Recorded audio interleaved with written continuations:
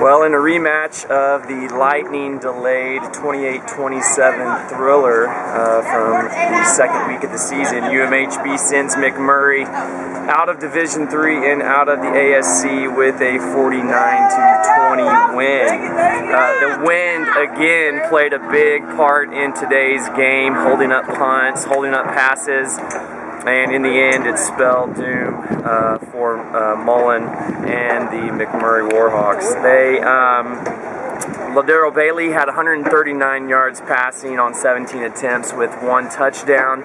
He also added 93 yards of rushing and a touchdown. Darius Wilson had another great day for the Cru, uh, just a few yards short of 100 at 98 yards and two touchdowns.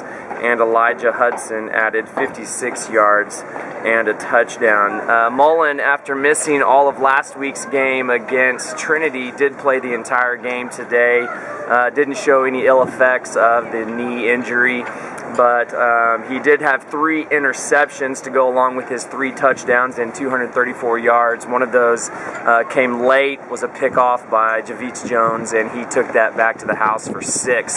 So UMHB again went on to win 49 to 20. Um, on the day, Cru gave up only 48 yards of rushing, and they look to next week to another classic rematch with Wesley.